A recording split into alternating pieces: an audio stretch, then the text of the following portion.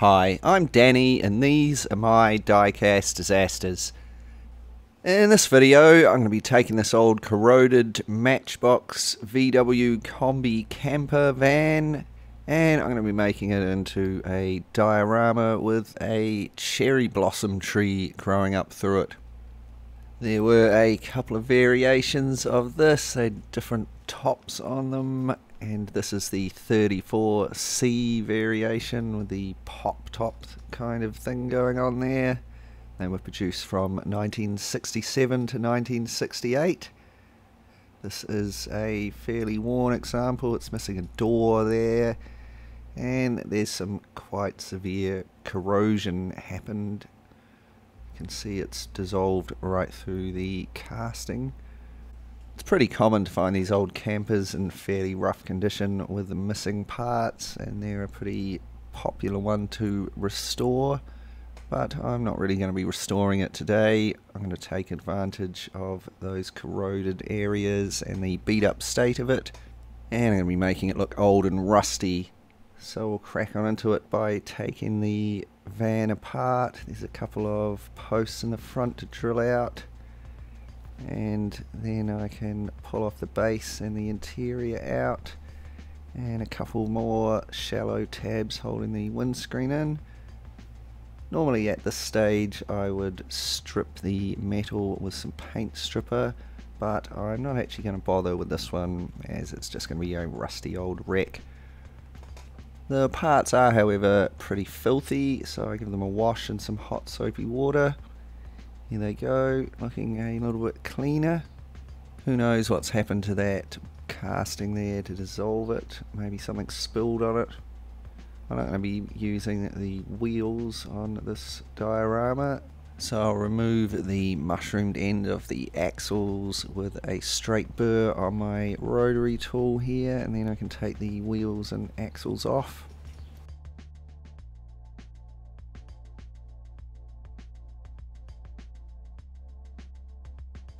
Now I'm going to have my cherry tree coming up through the bottom of my van there and up through the hole in the top. So I'm going to have to make a hole in the bottom plate there for it to come through.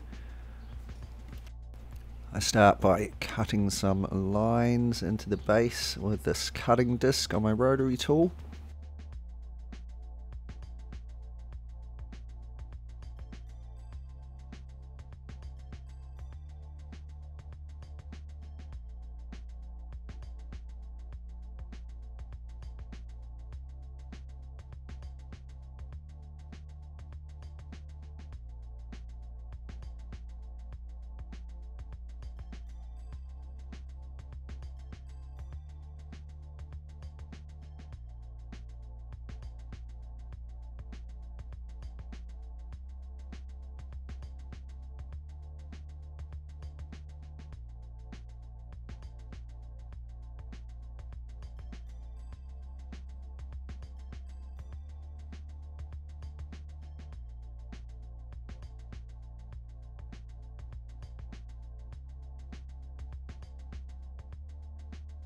And once I'd cut in my lines, I could use some pliers to bend up the floor of the van. A couple of them broke off, but it's okay. I could glue them back on with some glue later.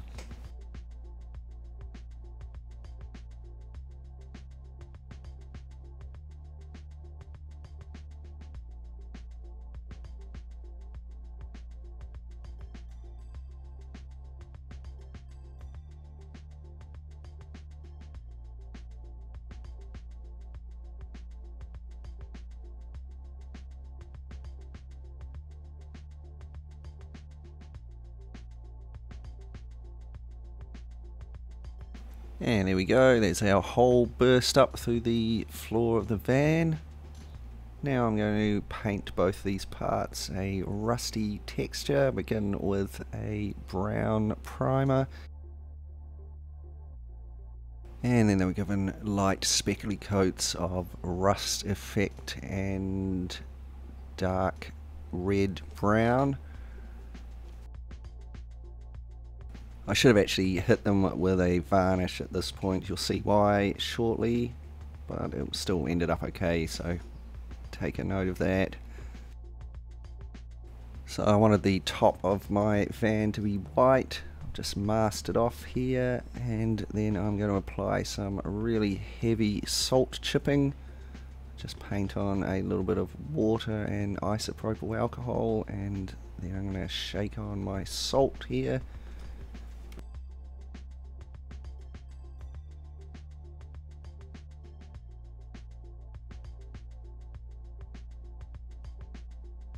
I then airbrush it white and I'm just removing my masking here. As you can see it's pulled off a lot of my rust paint that I put on earlier. So that was a bit disappointing. If I'd put some varnish on it that wouldn't have happened. And we're just brushing away the salt here. This will take a lot of the paint with it and expose the rust underneath, giving it that chippy worn out paint effect.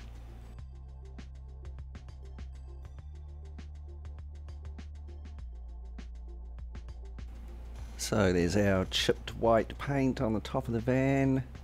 I'm just going to have to paint in my rusty paneling again by hand.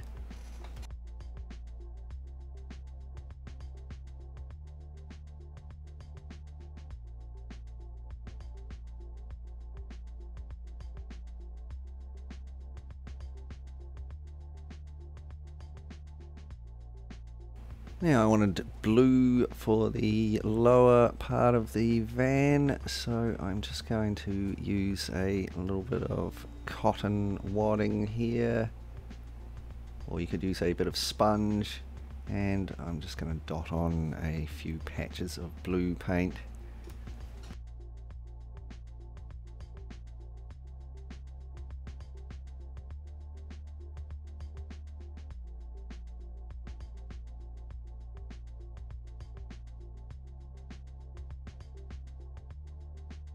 Next I use some chrome to paint in a few of the details here and there. The bumpers, I'm going to do a pretty patchy job like it's all been rusted through under the chrome.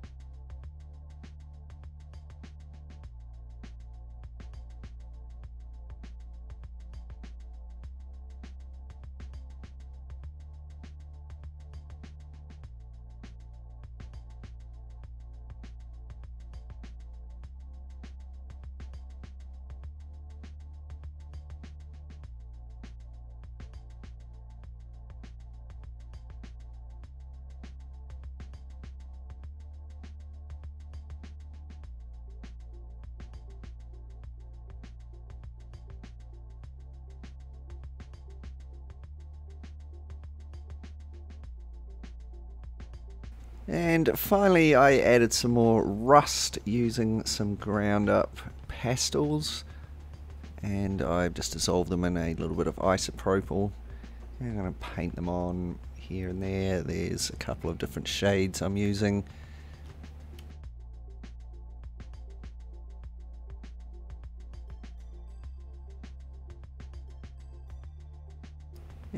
Once I was happy with this, I fixed it all with a matte varnish.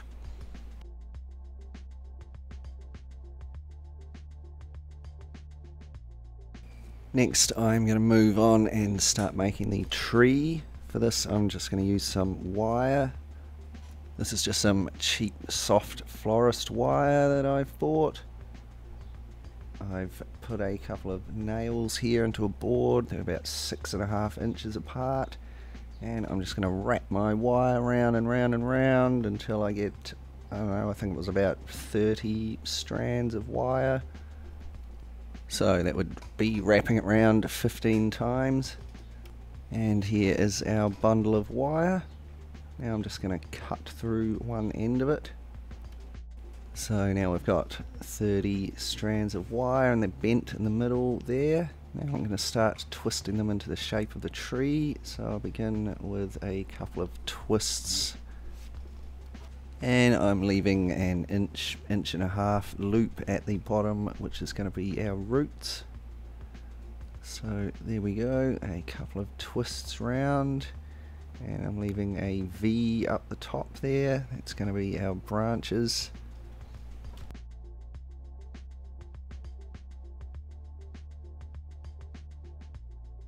Next I'm going to separate the loop in the bottom into three separate loops.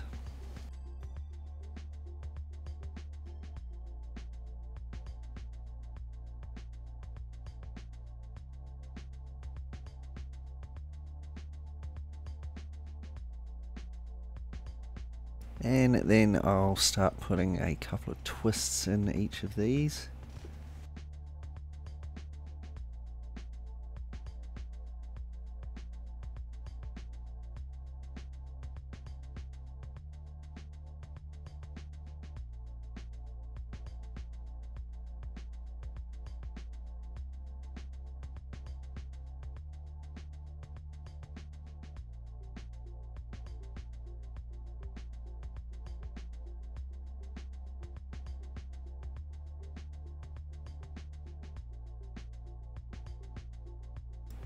go, there's our three roots there.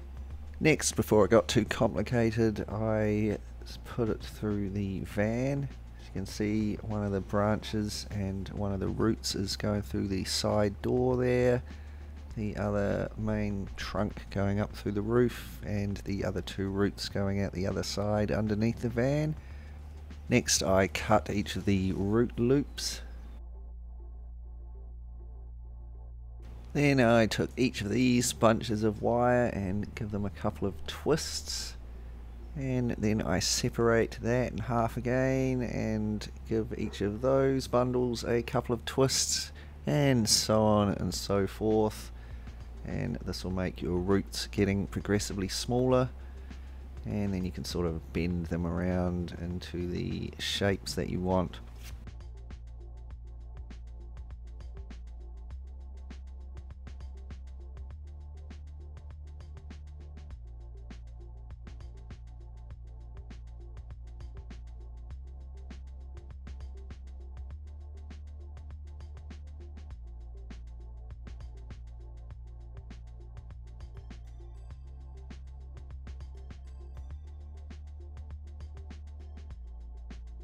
And there you can see I've done one of the roots there. And I can keep going make another one here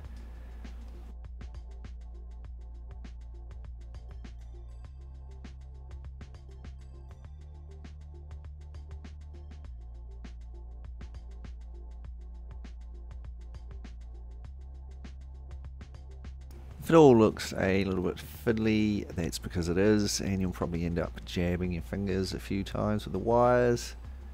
But just be patient and you'll get there in the end.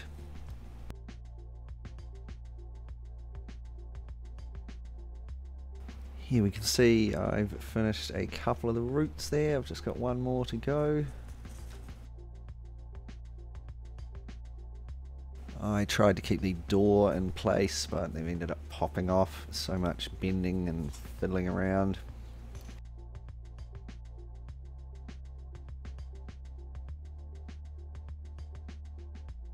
And there's the third main root finished.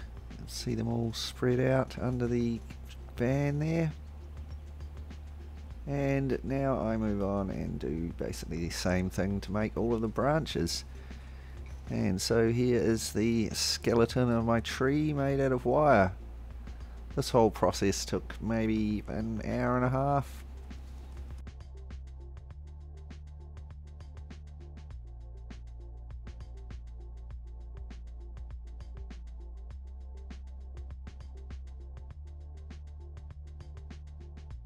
So the next thing I'm going to have to do is try and filler up all of the wire there as I don't want the tree to look too much like just wound wire. Starting out with some filler here and I'm just going to patiently paste it on everywhere that I can over the tree trunk trying to fill in as much of the wire texture as I can and I'm also trying to avoid getting too much of the filler on the van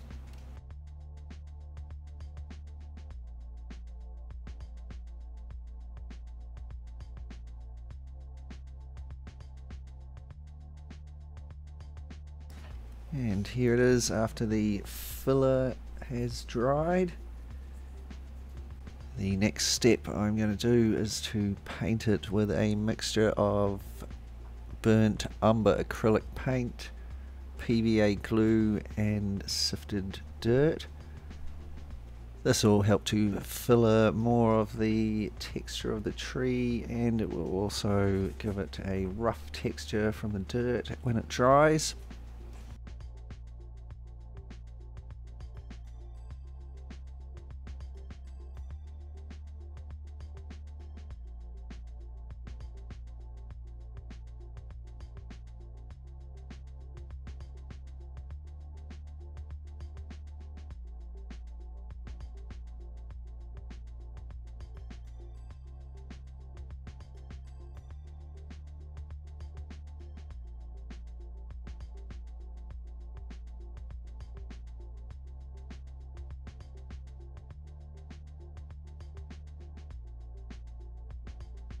Here we go after our dirt paint layer is dried and I'll just finish it off with another layer of brown paint.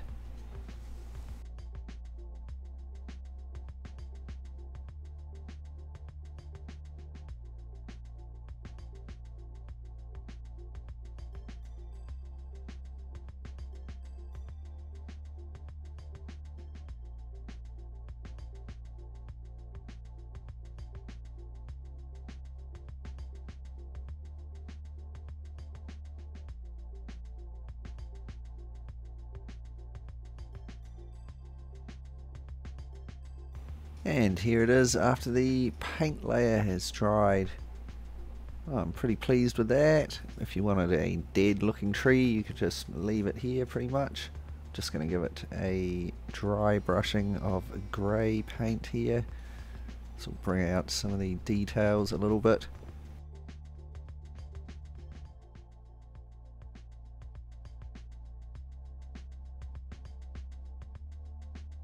Next to move on and start making a base to sit it on. Here I've cut out a little base out of foam. I'm going to be sitting my van on top of this.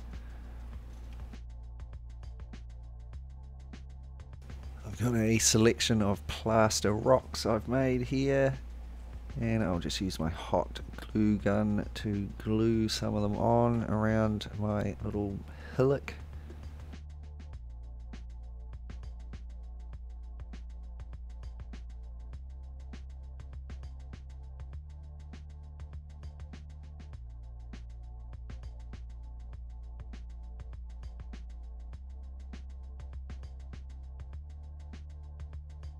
If you don't have plaster molds to make stones, etc., you can use just some big chunky pine bark to make some cool looking stones. You just have to paint over it and give it a good dry brushing.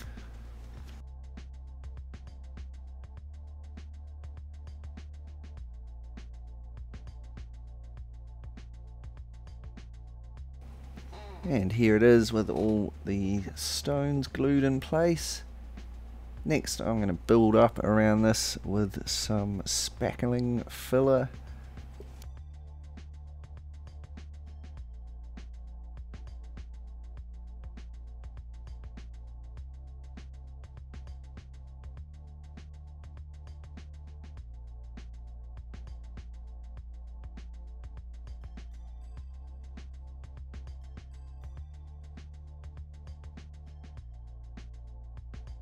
and this was left overnight to set.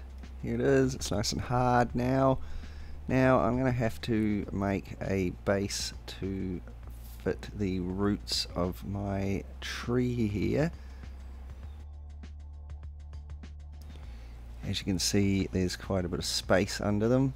So the way I'm going to do this is with some paper mache basically. I'm going to take a little bit of toilet paper here just put it on top there. And then I'm wetting it down with a mixture of PVA glue and water.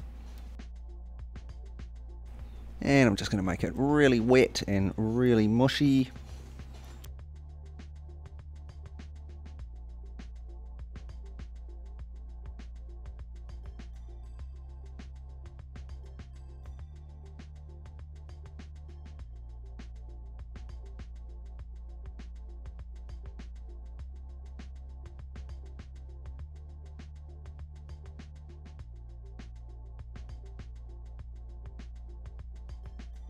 I'll just test fit my van and tree there. There's a few more gaps I could do with a little bit more paper mache.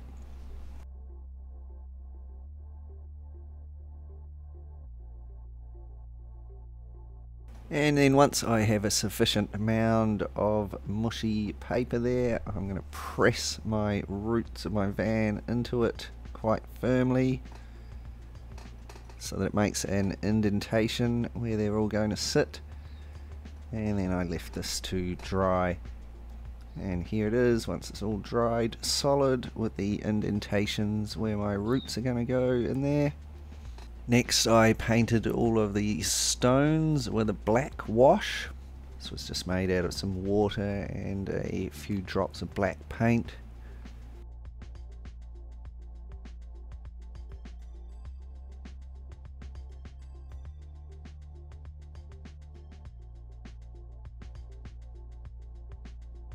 And this was followed with a blue wash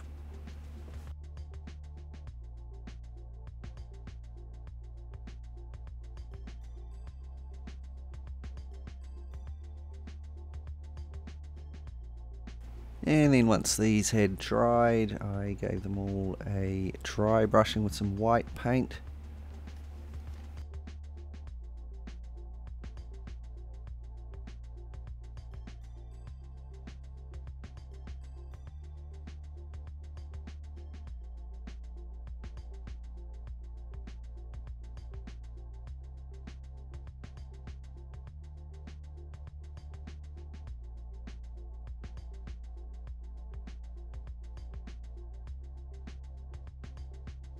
Next I painted all the rest of it brown.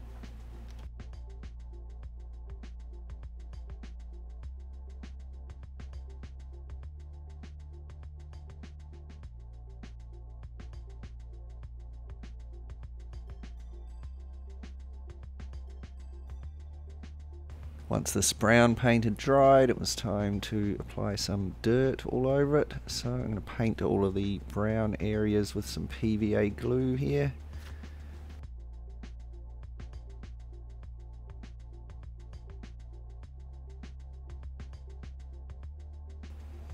I sprinkle on some dried dirt. This is from my garden. I've dried it out in the oven and then sifted it until it's quite fine. And I'm just going to sprinkle it all over the glue and it'll stick on there and I can just tap off the excess. So there's all our glued areas covered with the dirt and next I give it all a spray with some scenic cement. This is just a thin mixture of PVA glue, matte varnish and water.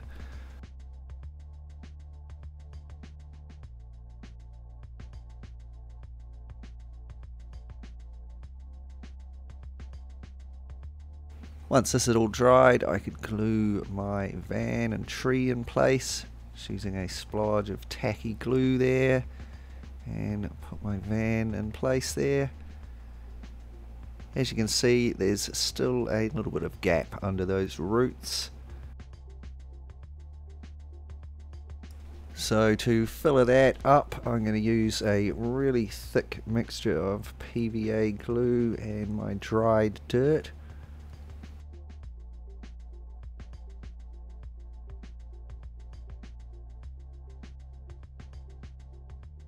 And I'm just going to paint it in under and around the roots there.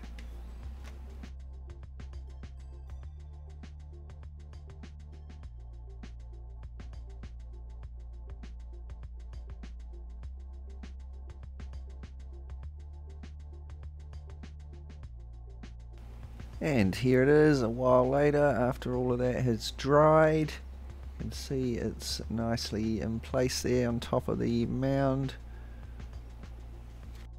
Now I'm going to start adding some grass. I'm going to start with some scatter grass. It's a really short, like 2 millimeter stuff that you can just sprinkle on. I'm using a couple of different blends of it. So first of all, I'm using a darker blend. I'm just going to paint all around the bottom of the diorama. And I'm sprinkling on my darker blend of scattergrass all over the glue here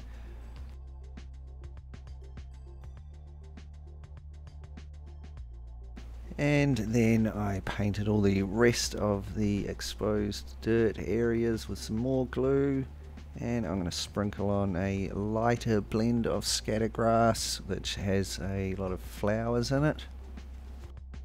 I'm using mostly Noch grass blends for this diorama.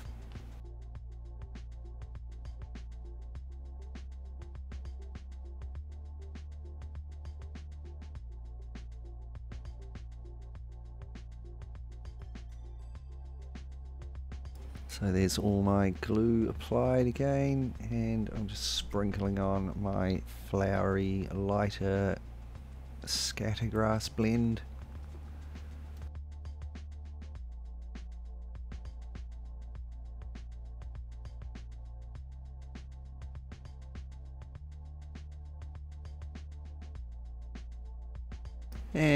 This was left for an hour or two to dry and then it was time to apply some static grass.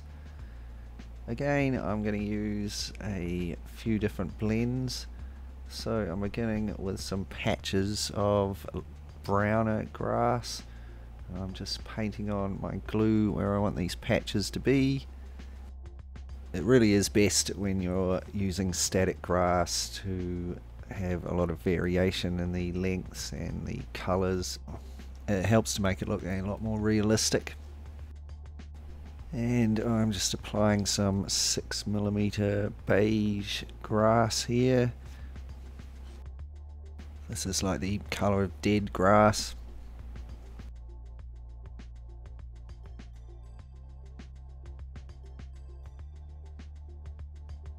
And then on top of that just to fill in between the longer beige grass I'm using a 2 millimeter winter blend. So there's my browner patches. Now I'm going to paint on some more areas of glue for my next grass blend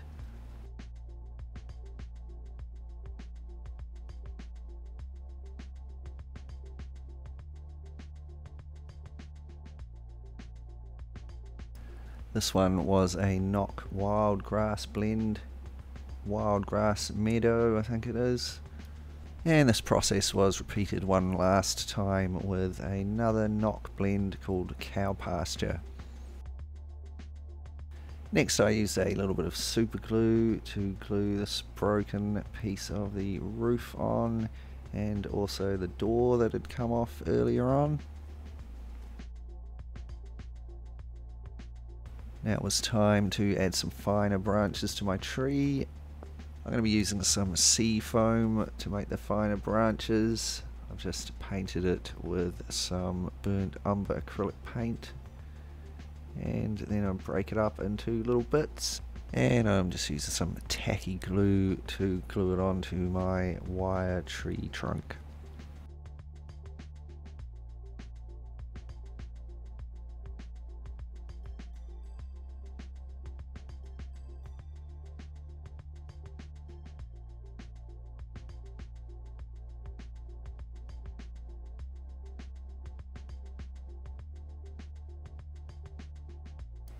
And here it is a while later once I've glued on all of my smaller branches and let them dry. Probably took me about an hour to glue all of those on. Next I'm going to add a little bit of foliage. Excuse my bad filming here but I'm just using a brush to paint on a little bit of watered down PVA. Normally you could use a spray adhesive to do this but I can't in this situation. So here I am sprinkling a little bit of foliage flock over my glue there. I just wanted a light coat of foliage to mimic the spring growth of a cherry tree. You don't really have the full leaves yet. And now to make my cherry blossom I've just blended up some white sponge here and I'll just put a drop of pink paint in it and I'm going to give it a good rub up here.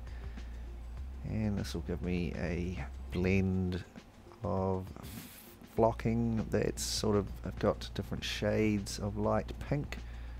And then I just repeated the process of painting on some paint and then applying the flocking so there we go, that's all the steps I did to make my cherry tree growing through my VW camper van diorama.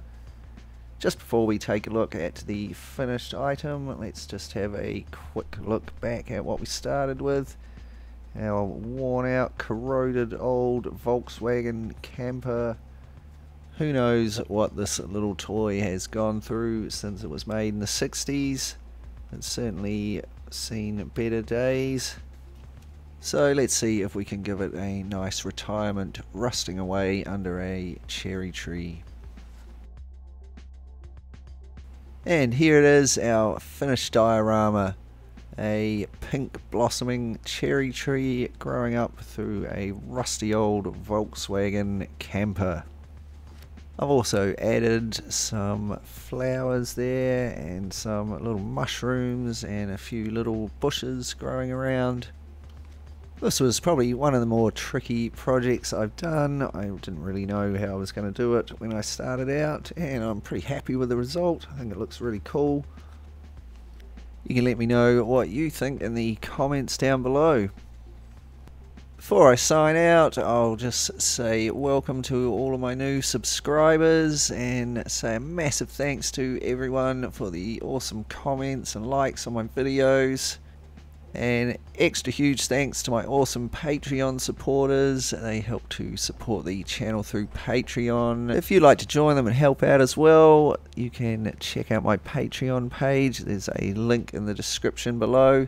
You get your name in the credits at the end of the videos and you also get access to a little bit of extra content. Thanks heaps for watching. I really hope you enjoyed this video. If you did, remember to subscribe and click the bell. Give it a thumbs up and share it with your friends.